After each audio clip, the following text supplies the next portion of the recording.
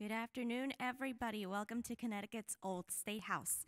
Uh, my name is Mariana Garcia. I'm the Public Programs Manager here at the Connecticut's Old State House, and I want to welcome you all to the third and final installment in our Untangling the Tally series, uh, Look into the Election Process.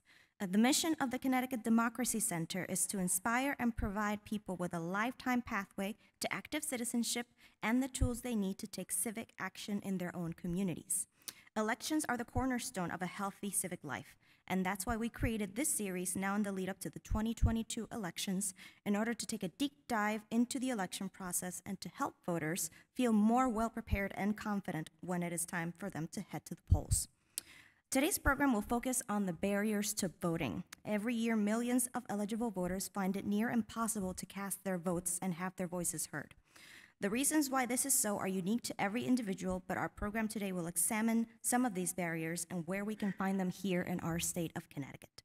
Uh, we have a wonderful panel of experts here to talk about uh, talk, to us about these barriers to voting. Uh, but before that, let me introduce you to our uh, moderator for today, Val Ramos who is the Director of Strategic Alliance and the Equity Officer at Everyday Democracy since December 2010. He also coordinates the Connecticut Civic Health Project, working with a strong advisory group. Uh, previously, Val served as Director of Constituent Affairs for uh, Connecticut State Secretary uh, uh, Secretary of the State Susan Bysiewicz, where he handled consti uh, constituent outreach and services, poli uh, public policy research and legislative affairs, minority business development projects, and Latino voter outreach. Uh, Val has also, uh, also has extensive expertise in the fields of public and higher education and arts programming and advocacy, and has served on over 25 community and leadership boards. Uh, before we start the program, I uh, hope that uh, everybody watching online is able to post their questions on the comment section, and everybody here in person, if you have a question, hold those to the very end, and I will come to you with a mic so you can uh, ask our speakers their questions. And now, without further ado, uh, barriers to voting with Val Ramos. Thank you, Mariana. Gracias.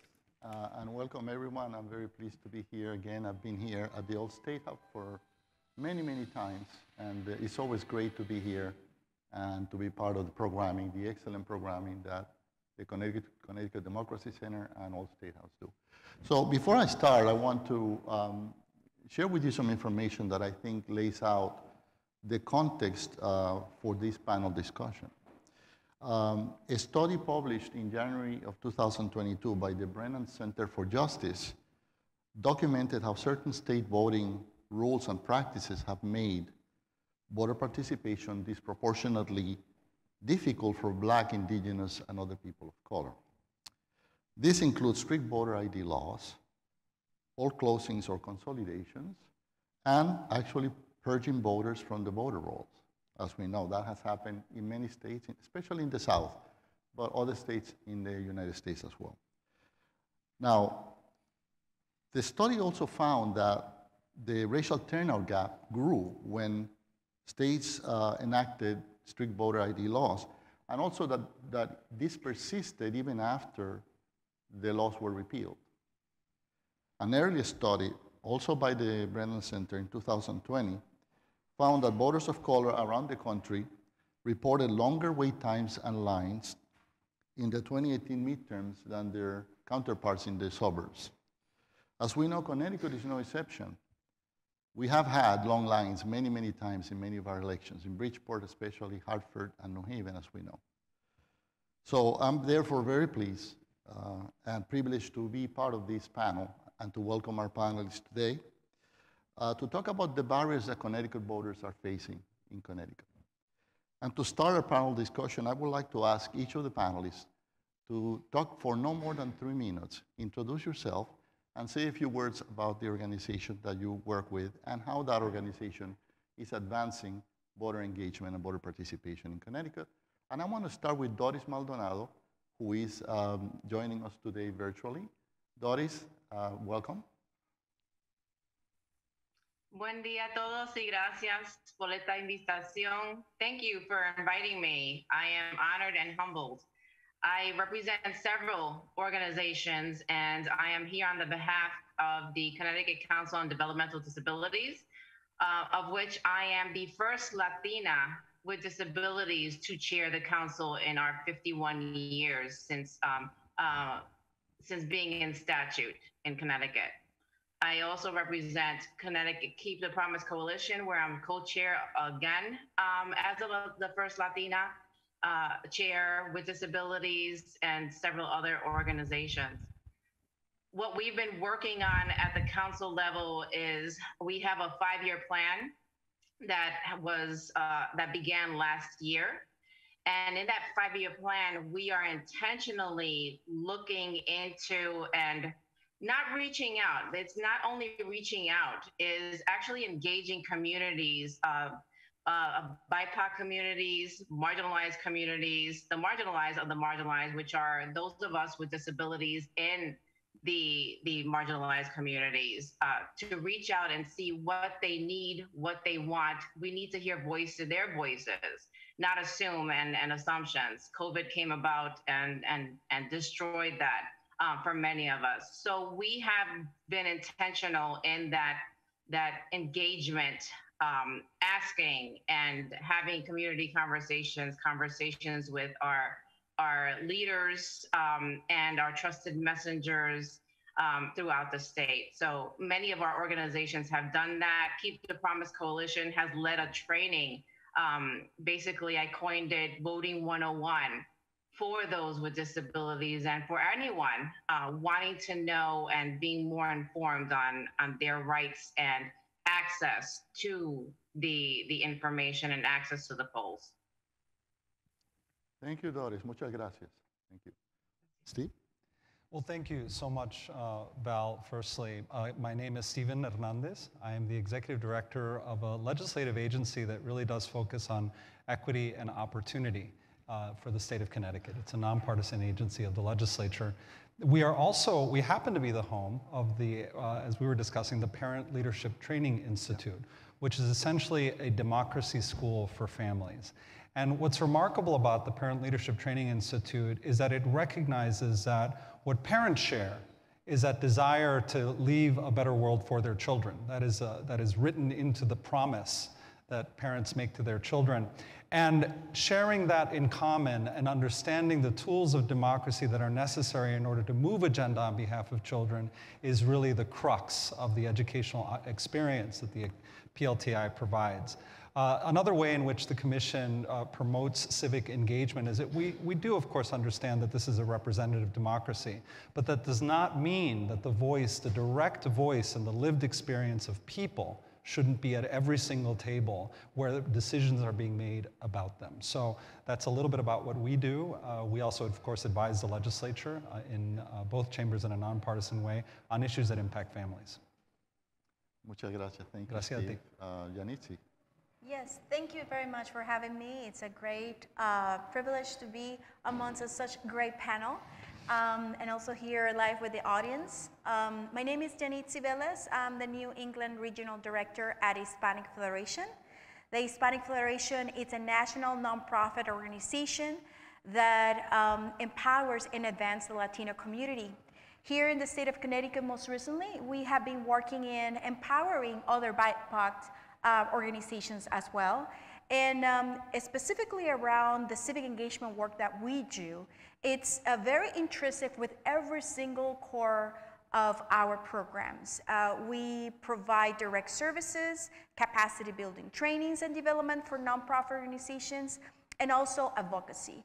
Um, as a nonpartisan organization, we aim to really educate, engage the community, and to give them the tools and the opportunity to really be uh, at the table, and more importantly, to take advantage of the timing that we're living in. In the state of Connecticut, we have a crucial uh, question in the ballot, and as part of our campaign, is to really send messaging, send uh, phone calls, and uh, work directly with the local nonprofit organizations that are serving our communities so they can be um, as the trusted voices so they can be also educated on the issues.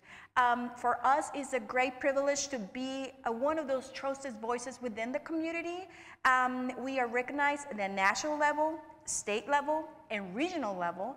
And for us, it's really to make sure that everyone gets out to vote in the midterm elections and in the presidential elections. Thank you, Yanidsi. Gracias. Joe. Thank you so much. Buenos dias. Uh, Buenos dias. Appreciate being here. Um, so I am a social studies teacher uh, at the moment, and before I forget, I promised my students I'd give them a shout out. So hi to E.O. Smith High School, and the, you know, if the kids are watching right now on their phones, put them away if you're in class. But um, uh, I've been teaching for 13 years, and um, uh, before I was a teacher, and I should say that I, I've been a civics teacher for almost the entirety of that, that time teaching.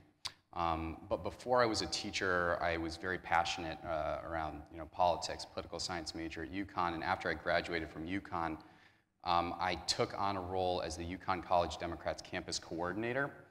Um, and uh, my job was to register uh, students to vote. Um, so we were going through and we knocked on something like 12,000 uh, student dorm rooms to register voters.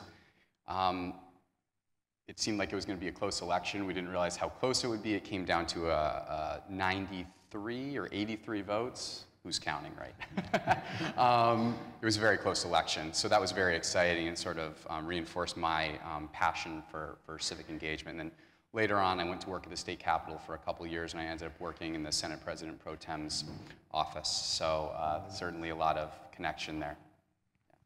Thank you, Joe. I actually I remember meeting Don, Donald Williams when I used to work for Secretary of the State, Susan Vice, then Secretary of the State, Susan Yes. Thank you. Muchas gracias. Uh, so let's start this conversation. I think uh, one thing I want to mention is that in 2022, the cost of voting index, which by the way, I had not heard of this, of this, um, this academic study. So I learned something new. Every day you learn something new. It's a nonpartisan academic study that analyzes the effort required to cast a ballot in each state, right? And Connecticut ranks number 30 in the nation, number 30. This study takes many factors into considerations, including ease of voter registration and average time spent waiting in line at the polls. That's probably one of the reasons why Connecticut didn't do so well. Right? Despite this, a record 1.86 million Connecticut residents voted in the 2020 election, right? Nearly 80% of registered voters in the state. So I have a question for Yanidsi, and maybe Steve, you can also join in the answer. From your perspective, Yanidsi, why is Connecticut in the bottom half for how hard it is to vote here? And the second question is anything you would like, I'll ask Steve the same question. Yanidsi. Well, I believe that the state of Connecticut has been historically uh, recognized um, as a state that had strict voter laws that do not facilitate the full participation of voters to, to participate in the electoral process. Um, part of that it's the long waits. Um, and also we need to take into consideration that while we have some limitations for the entire state, some of the communities, like the BIPOC communities, Latinx communities in particular, are more affected by one of the, by those decisions that are made by our elected officials and the constitution that has not changed to favor um, the voter participation of these communities in particular. Waiting line, I would like to say that if you compare Black and Latinos versus the white comport neighborhoods, they wait 30 minutes more than the regular average voter. Um, and that led voters to really uh, feel like I can go easy out of the line. Um, this you know, like they are not motivated to stay. Also, another issue is the language access that has really affected throughout the years um, to really empower other people who speak other languages, not only Spanish, which is one of the main uh, foreign language speaking here in the state of Connecticut, but also uh, Chinese, Portuguese. Um, these individuals who are eligible voters really don't see themselves represented in the poll places or in their communities or for that matter, even electoral um, or leadership uh, representation. And when they go there, they want to be informed. They want to have access to the information in their own language so they can feel fully, fully engaged in the process and confident in the process. So for those two main reasons, uh, but I will say also that people don't have all the access to it because the, we don't have early voting. And um, I'm sure that we will talk more about that, I hope so. Uh, because really, that's one of the things that is affecting our communities in particular to go in larger numbers to go to turn out to vote.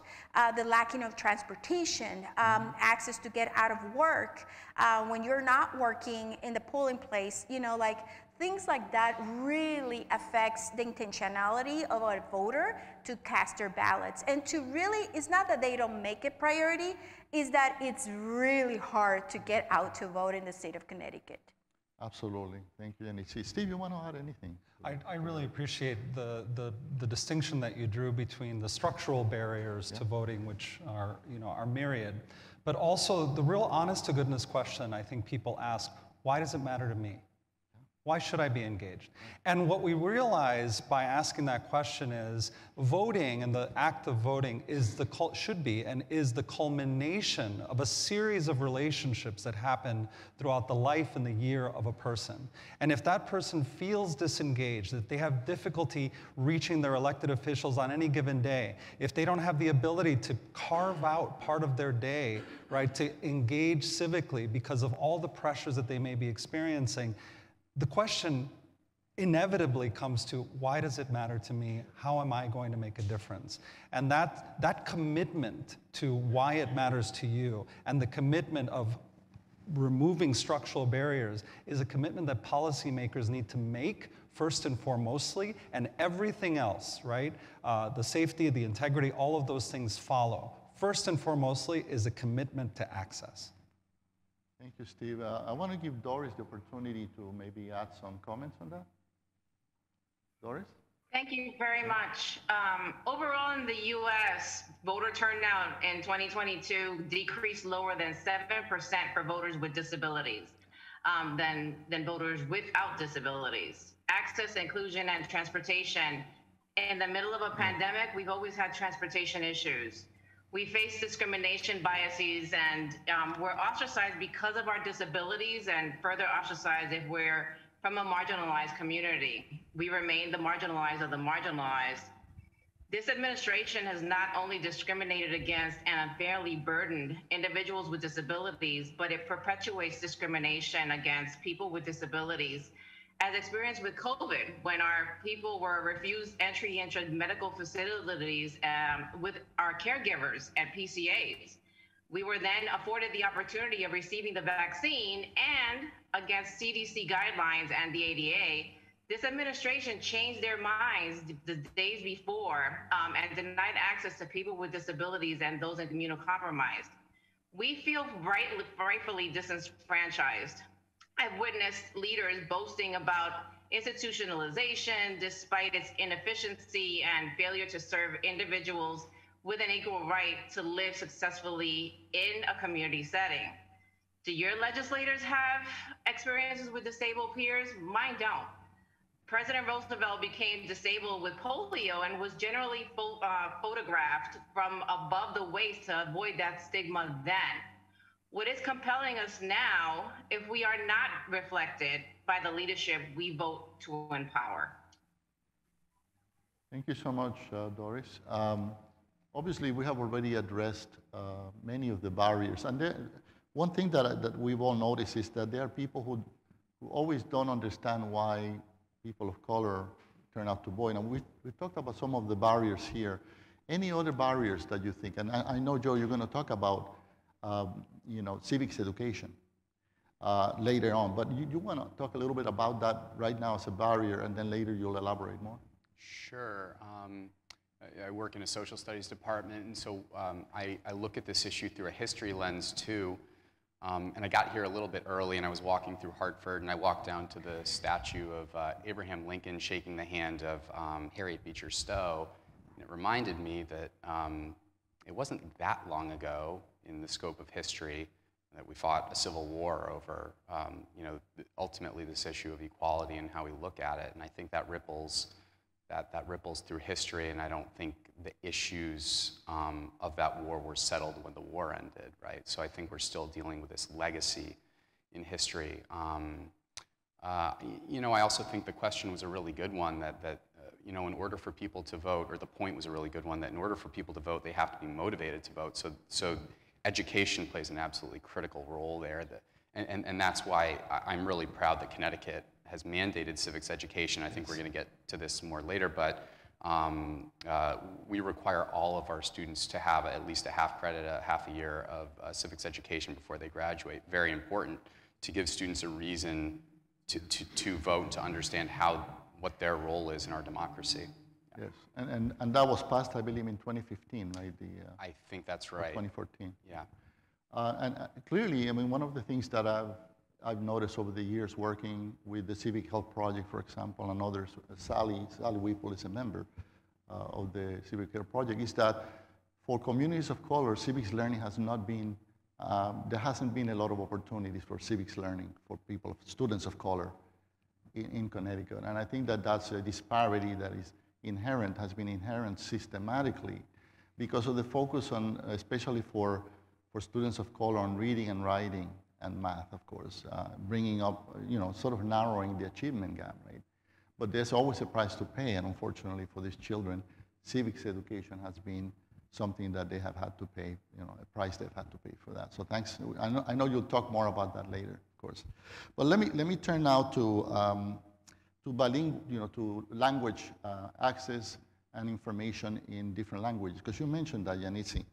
And one thing that, that you probably know is that in 2020, the U.S. Bureau of the Census notified 10 Connecticut towns, 10 Connecticut towns and cities that they had to provide bilingual voting assistance to those who need it because the population met the minimum requirements of non-native English-speaking voters that to make it a requirement, right? So why is this necessary? Why is it so important for the state to provide language assistance to non-English speakers? Well, because it is essential, a pathway to full voter participation. Um, when we see the population that has grown in the state of Connecticut from the Latino community and other minority groups, um, without a doubt, we need to make sure that citizens, US citizens, um, who would not necessarily feel comfortable um, you know, with the English language as the first language to read, to understand, to really um, carve the information to their, that makes sense to them, and then be able to cast their ballot with a full conscience, it is important that we provide not only language access, but the correct language access. I mean, Span Spanish or Spanish from Spain is not the same from the Caribbean. It needs to be cultural competent, really need to have a sense of international intentionality behind it. Um, I, per se, come from Puerto Rico, born and raised, and I have been here for around 17 years. For the first 15 years, my work was actually register people to vote, educate them, uh, to, make, to, to help them to become citizens, US citizens. And what I really learned is that really, people love this country. People are committed to the future of this country and the future of their family. So if they already have gone through the whole process to become US citizens, or even those who are second generation and they're left here and not necessarily they, you know, grown with that English language at home, why not to provide them the full access to the electoral process? I think it's a right, and more important, it's the commitment, it's the law. And that's why that must be continue to be a priority for every state. And more importantly, this time, in 2022, we're talking, and we're, where there is so much uh, digital and um, technical uh, opportunities to provide uh, language access in so many ways.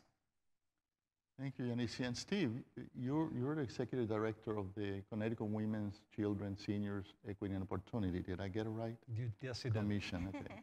Um, can you add something about that? Because I Sure. know you've done some work in that area as well in the past. You know, what's, what's remarkable to me is that the state of Connecticut stands among the several states that have not adopted a universal language access law.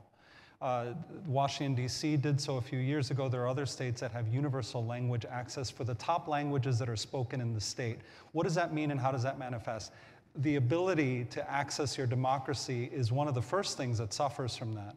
But imagine the last three years of pandemic, two years of pandemic. How do you communicate vital information to families uh, who are suffering, who are disconnected, if you're not communicating with them in their language? And by the way, which includes sign language and for people who are, who are deaf and hard of hearing. What we learned during pandemic is that there isn't a one size fits all even for that community. You spoke to the nuances of Spanish. So if we're going to commit as a state to real access, then we have to commit to the diversity of the people that we have in our state.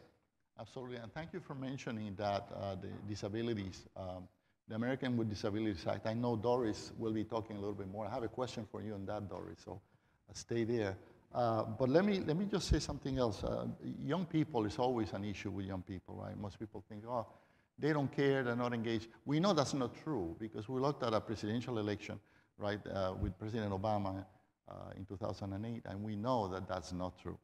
But uh, you know, according to the 2016 Connecticut Civic Health Index report and other studies, young people consistently turn out at significant lower rates than older voters, right? Um, in 2020, for example, barely 50% of the 18 to 24 year olds turned out to vote.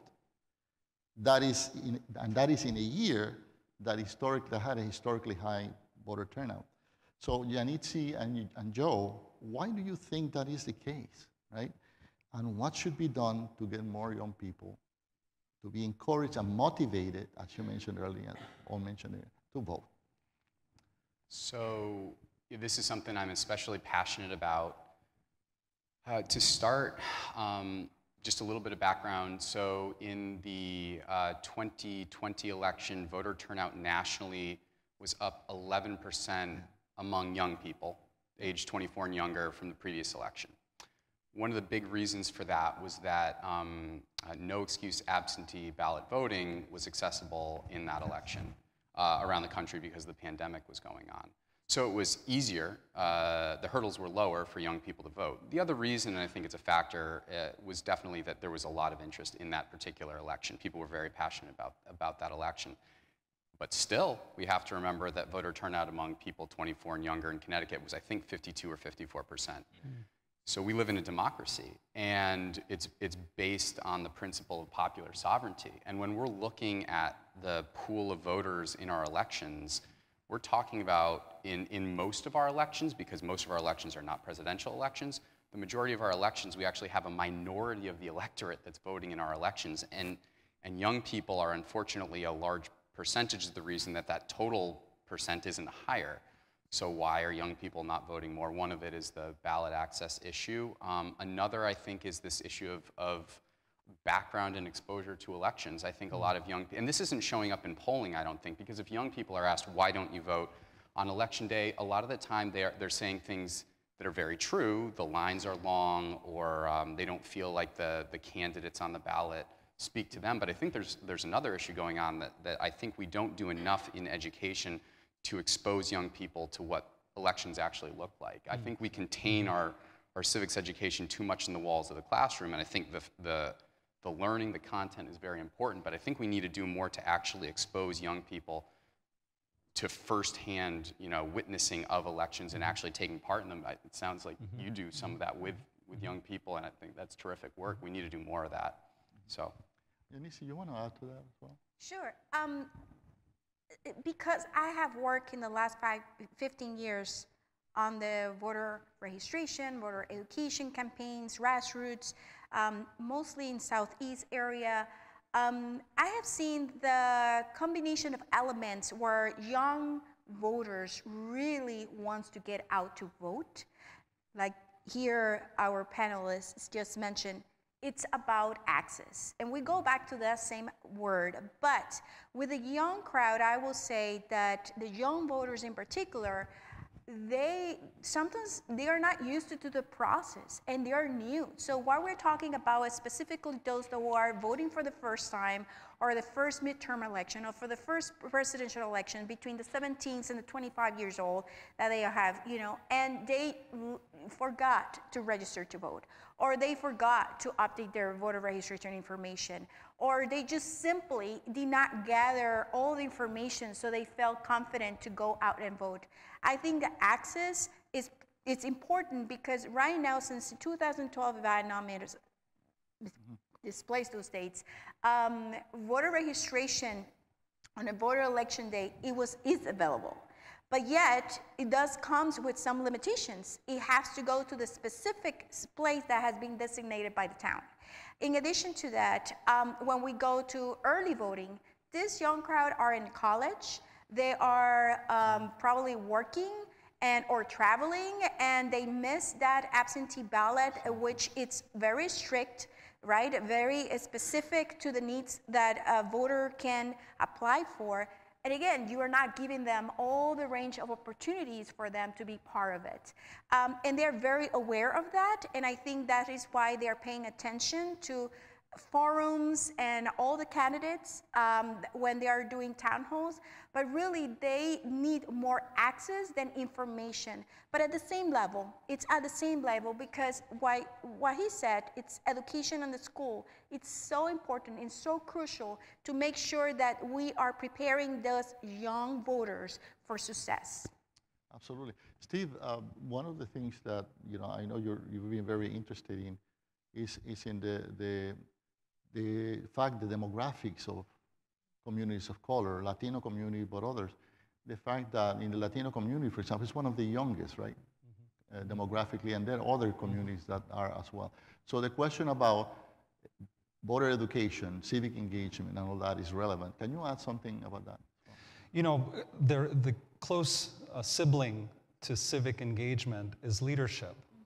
And one thing that we deny young people, perhaps because of muscle memory, but also because of a lack of trust, are opportunities to lead, even before they are enfranchised with the ability to vote.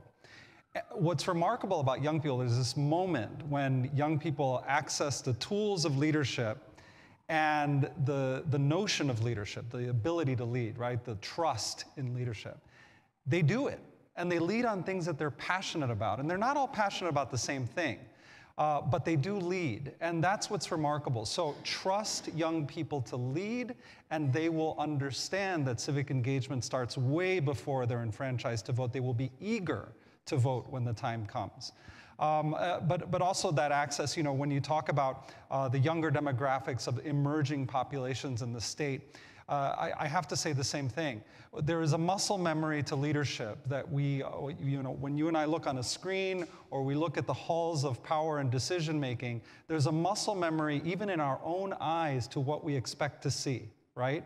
Where are the leaders from? What is their pedigree? Whatever it is that you call that. What is their education? We need to expand our muscle memory so that we start seeing more and more diversity among our expectations of the leaders that are at the head of the table. That diversity has to be demographic, linguistic, so that we commit to leadership uh, in ways that we haven't expected ourselves to in the past. Absolutely. So it's a lot of it's a lot of factors. You know, the mentoring also is important, and also young people seeing young candidates also. Because they usually see these older people, not, not, you know, not to criticize them.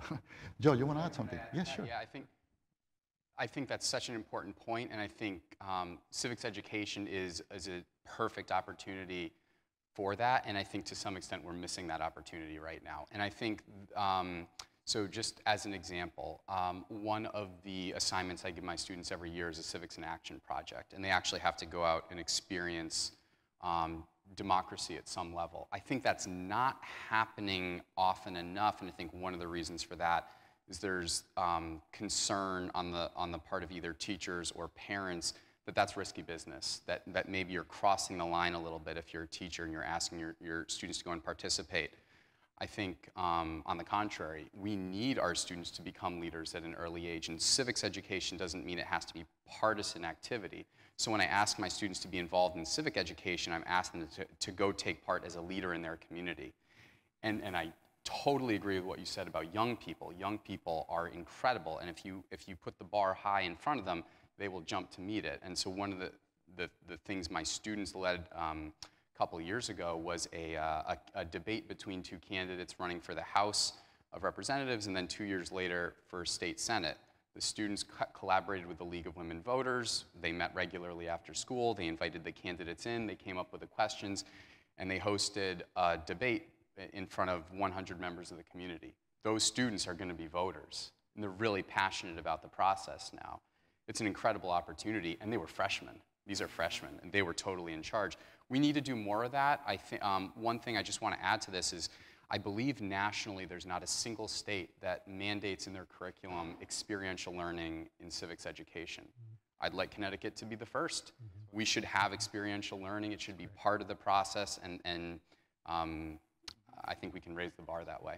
And it's part of what you said, Steve, about m- muscle memory, to getting used to being exposed to civic engagement as, as an important part Can of I your life. I want to invite uh. Doris, if you want to add something, Doris. Yes, um, I was. I also co-taught I, as a teacher uh, civics, and um, I'll, I'll I'll I'll dip into that in the next question. But how do the how do our youth see themselves included and directly impa- impacted besides the latest social media trend? Uh, we have in Connecticut CT KASA, which is Kids as Self Advocates.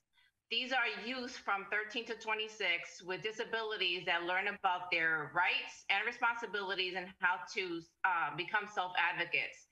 These young people have testified at the LOB, at, in DC, and have um, also testified in the police accountability. Uh, they've educated medical providers. So we have resources that are siloed, but we have youth already setting and paving the waves and setting the path. We just have to expand on that. Um, I was told recently by leaders that children should not participate in their own educational meetings. Uh, children of all disability, of all abilities can communicate, and it's essential to empower them and their voice so that they grow aware of their choice. Um, it's the law. I've taken my children since they were the the age of five. I just I have a five year old that just went um, with me to to vote and register um, recently. And it's especially significant if we are voting at their schools, at their districts, so that they can make that connection and include them in their own school meetings, empower their voice. And at the IEP, at the PPT, at the 504, at the parent parent teacher conferences, it's the law. And so allow them to do so, invite them to do so. Culturally, as a first generation Puerto Rican, I was taught that children should be seen and not heard. And I've done the contrary with my children. They have been involved in their in their educational careers, in their political careers, um, and they've learned the difference between civic responsibility and privilege. And it's essential to do that. Thank you, Doris. Before, before we move from this topic, Joe, just a question. Uh, how does Connecticut compare to other states in terms of civics education? I think I know the answer, but I, I want you to elaborate on that, please. I hope I have the numbers right. I think there's nine states uh, in the country that require a full year of civics education in order to graduate. Uh, I believe there's something like 31 that require a half year. Uh, Connecticut's one of those states that requires a half year of civics education in order to graduate.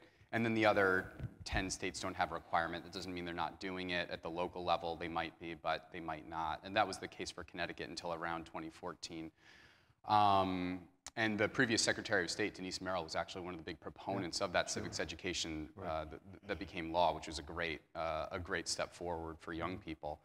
Um, so Connecticut is, it is it's definitely there. I, I think what Connecticut needs to do more of I, is, is, I guess here's sort of the change that I would like to see. I- work in a social studies department, and in order to be certified and teach in a social studies department, you have to have a history degree. But I think to teach, and I don't think someone with a history degree can't teach a civics course effectively, but why aren't we uh, allowing um, uh, college graduates with a political science degree to be uh, teachers of civics? I, I think that, that curriculum lends itself in, that in that direction. So I would like to see more opportunity for uh, a, a larger number of people who have background in politics to be able to be in the classroom teaching. I think that would be a great, a great step forward, and, and, I, and personally. I think if you think about all the things you, you really cover in a good civics class, founding documents and um, you know, the Justice Department, the Constitution, um, important Supreme Court cases through history, the way the legislative branch works, how a bill becomes a law. You start talking about all that and media literacy, which I think even more today than ever has to be part of, of civics education. Covering that in a half a year is a lot to ask, lot. and so I think I, I would love to see more of a civics requirement, either a year or build it into other, yeah. other courses, but I think that's where we have room to grow. And, and, and also with the civics in action style oh, yeah. learning as well, yes. because I think the content has to be there definitely. People have to know their democracy, but engage I think they also it. have to experience it. Engage it. Yeah, yes, and I think there has to be more of a push for that. I'm glad you mentioned that, Joe, because uh, I've had many conversations with my friend uh, Stephen Armstrong, as yeah. I'm sure you know him. Uh, he's the coordinator for social studies for Connecticut, and he's a member of the Civic Health Advisor Group. Uh, and he, two things he said is, one is that the curriculum needs to be more open to action civics or hands-on civic.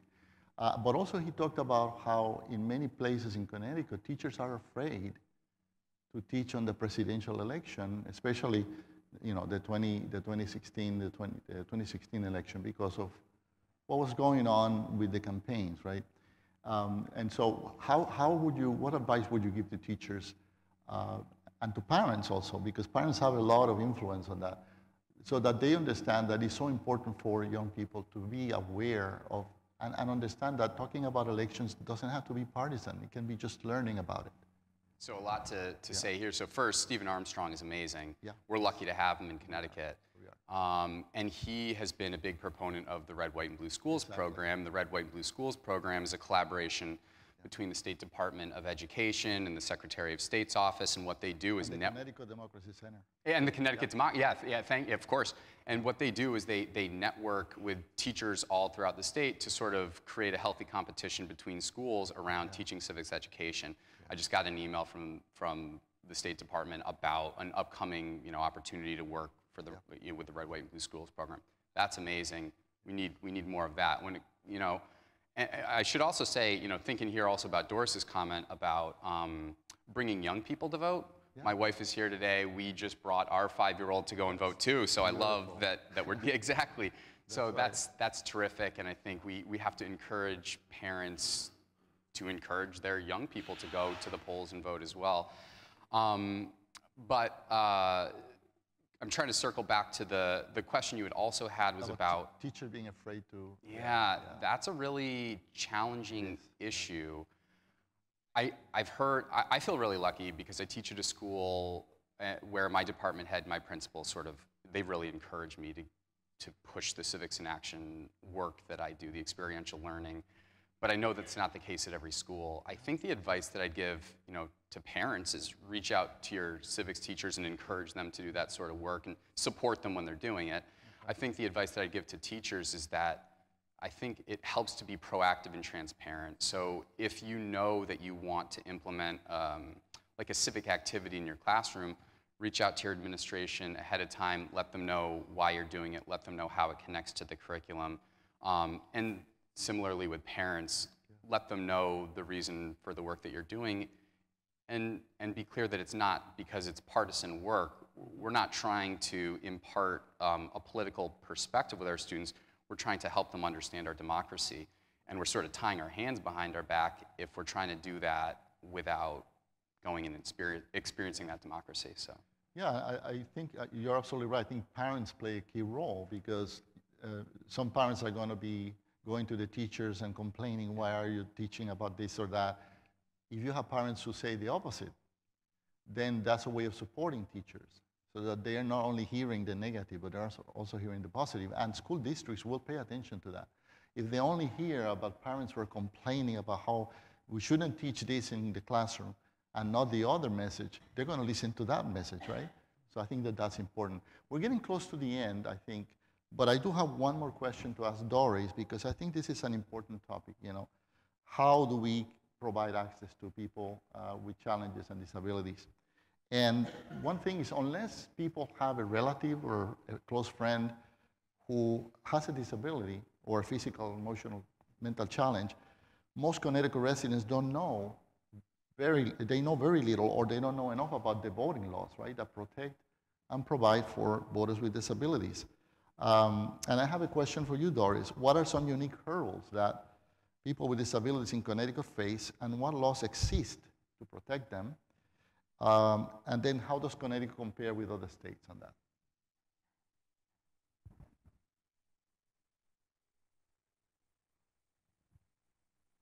Sorry. Um, that is a, a tall order to, to try to squeeze in, and I'll try to do my best.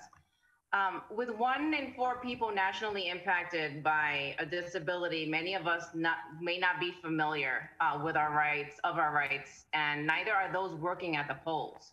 So, as co chair of the Keep the Promise Coalition that I mentioned before, I can boast that we've been successful with providing a free virtual training that I've coined Voting While Disabled. Yeah. There are other there's others that the council has funded, the Connecticut Disability Developmental Disabilities Council has funded throughout the years. But knowing that the the knowing the law and protections are the hurdle. Um, in Connecticut, but in but in statute, people with an intellectual disability have the right to vote unless a probate court has specifically ruled that they are incompetent um, to exercise their right. Now, Connecticut law does allow the supervising officials at the polls um, the authority to reject a ballot when they are unable to determine how the voter wants to, to vote. So it's at the discretion of the, the officials at the at the polls.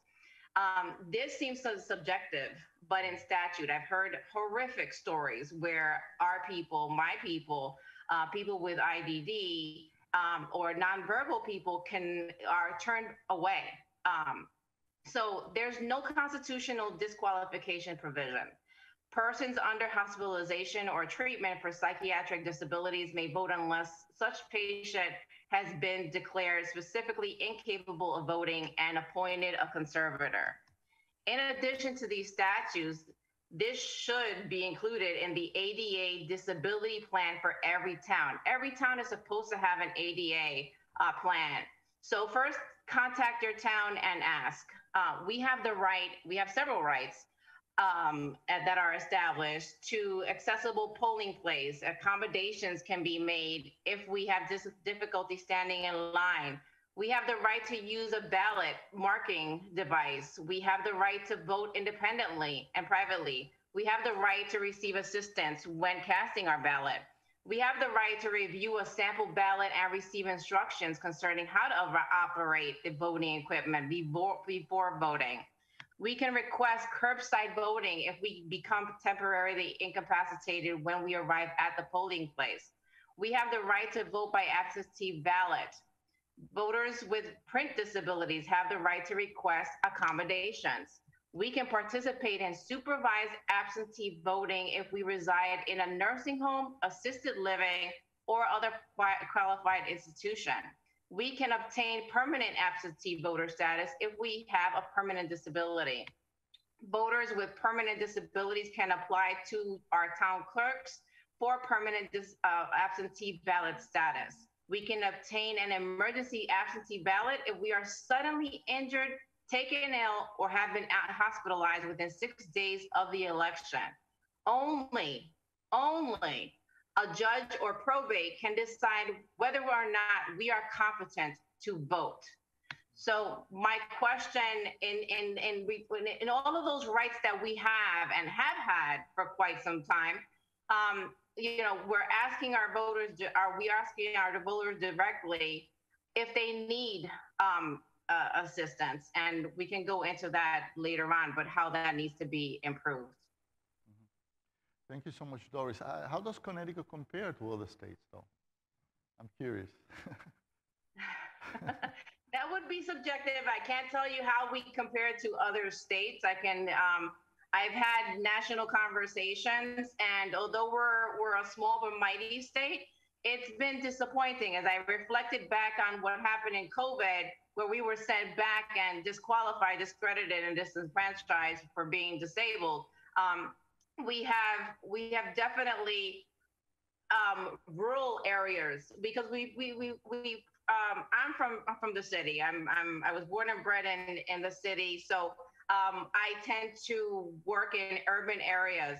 But now I'm working in rural areas, and they suffer the same inequities and and and disabilities or or lack of access and transportation that we do in in in the in the cities. So where we could do a better job, definitely. That's what I thought. Thank you so much, Doris. We're getting close to the end of the panel. Uh, I do have one question, one final question for each of the panelists. How, um, why is voting so important to the health of our democracy? Steve. You know, as a, as a federal republic, we actually are, by agreement, a collection of democracies. And each one of our states has the ability to perfect and improve upon access to our democracy in the state in which we live. Each one of our states has that solemn duty, in fact. So uh, the reason that it's so important is because it really does, you know, you, they say all politics is local, but all civics is every day. And unless we commit to civic engagement, it will be virtually impossible to continue in the social contract that we have all agreed to uh, and that we continue to perfect and re energize every year. That's wonderful. Thank you, Steve. Yanidsi, I'm sorry, can you repeat the question again? Why is democracy so important? Oh Why, why is voting so important for democracy? I apologize. Okay. Well, um, first of all, the, regardless of how you came or if you were born in United States, democracy is what it makes United States so beautiful.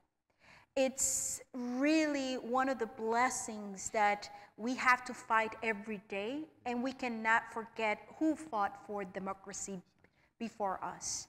Um, but regardless, it is important every single day because every day there are decisions that impact individuals, families, neighborhood communities, the state, the nation. And we need to be aware of those changes. We need to be aware and be part of those decisions. We cannot sit on the sidelines and wait for things to happen and then react to it. So civics and democracy, like Stephen said, you know, somehow it's it's intrinsic with everything that we do and for everything that we work for.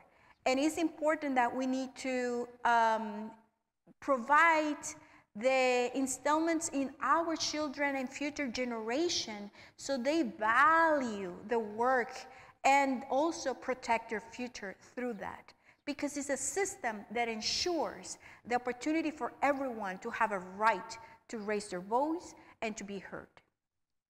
Gracias. Thank you, Yanidsi. Joe.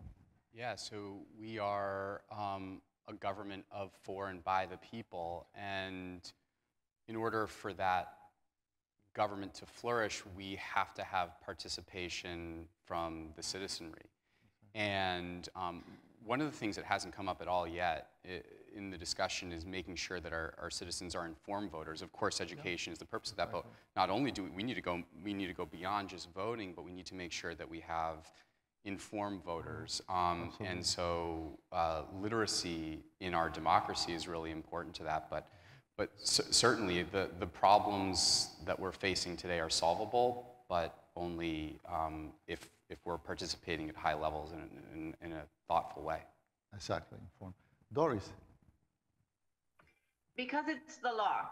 Um, Black, Indigenous, and people of color, disabled people, and older adults have historically experienced and continue to experience systemic discriminations. We face pervasive negative biases and inaccurate assumptions about our viability, value, quality of life, capacity to communicate and make decisions. There's a tendency to group all persons who uh, experience disability as if we were members of a homogenous group and we're not the council has empowered self-direction, self-determination, and person-centered services so that we may enter the workforce and any force in uh, meaningful and gratifying employment as individuals living with inalienable rights to live liberty, life, li- liberty, and the pursuit of felicidad in our own homes and communities.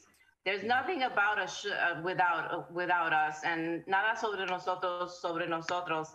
And I wanted to to to uh, uh, conclude my my uh, my my testimony today um, and quoting Justice Sonia Soto- Sotomayor.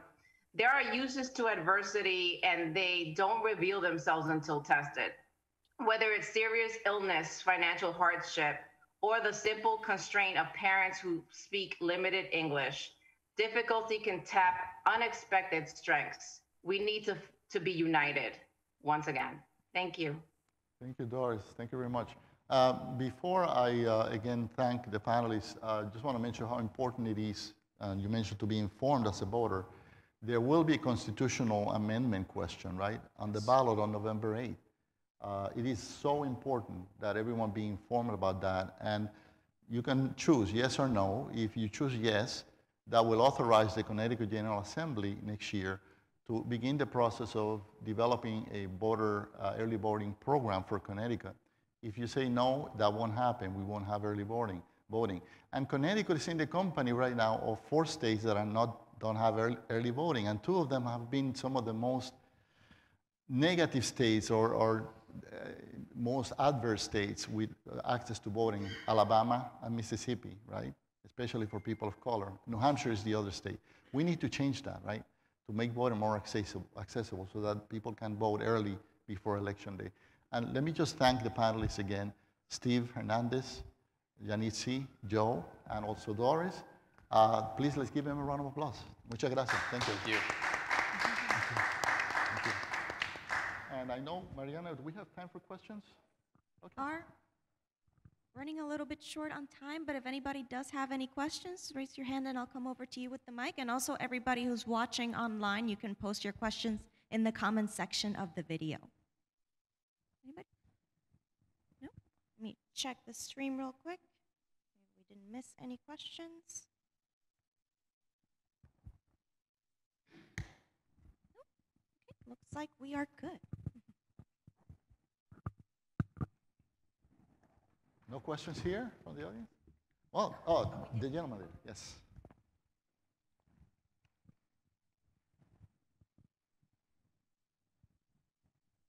Thank you. I, I wouldn't want to waste this beautiful venue if we have a few minutes. Uh, my name is Walter Glomb. I'm the Executive Director of the Connecticut Council on Developmental Disabilities, uh, which means I work for Doris. Uh, I just wanted to make a, a couple comments uh, that maybe uh, uh, Stephen and our, our civics teacher can, can respond perhaps.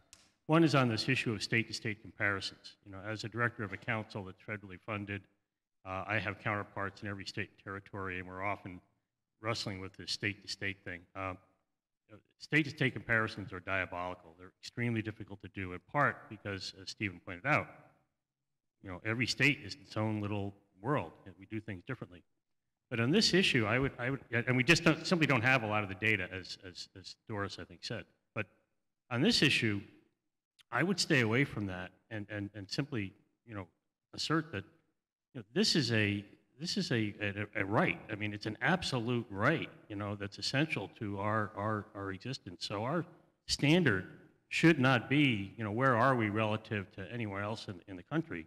It's, it's, it's the standard is absolute, right? If there's one person who doesn't have access, you know, to the, their franchise, I mean, that we have to fix that. So, I mean, that, that's where we have to go with this, I think. Uh, and, and as Doris pointed out, we have, at least for people with disabilities, we have, uh, we have some pretty strong laws and regulations, you know, that, that ostensibly ensure access and accommodations. Uh, the issue is implementation. So one of the things I think we need to address in our parent training and in our, in our, in, in, in teaching our, our, our students is, is what are the remedies? Okay? I mean, when you go and you see an injustice, you know, when you see something that's wrong, what do you do about it? And we get calls, you know, too many calls of people who go to a voting place, uh, ask for an accommodation, ask for the special machine, and the answer is, yeah, we have that, but it's still in the box. Yeah, we have that, but we're not trained to use it. Yeah, we have that, but it's on the other side of town. You know, that's unacceptable. So, you know, people need to know, well, what do you do then, right? Who do you call, Yeah. right? How, what's the remedy? Because it's one thing to state these things and say, oh, we got a law, we've got a regulation, it's a right uh, and people should know their rights. But then the question is, what do you do about it? Yes. And, and that's, you know, that accountability piece is something, it, I hope we can, we can do more with going forward. Thank you. Thank you very much. Thank you. So, Thank you so much. Mariana, unless there's no other questions, I don't think, uh, turn it over to you. Thank you so much. Thank you. Great, thank you so much, everybody. That was wonderful. Val, thank you for great moderation. And to all of our speakers, thank you so much for your expertise and your time here today. And also, thank you, everybody who came down in person and also everybody who's watching online. Uh, this is the last in the Untangling the Tally series, and we're very, very happy with how this program, uh, the series, has turned out.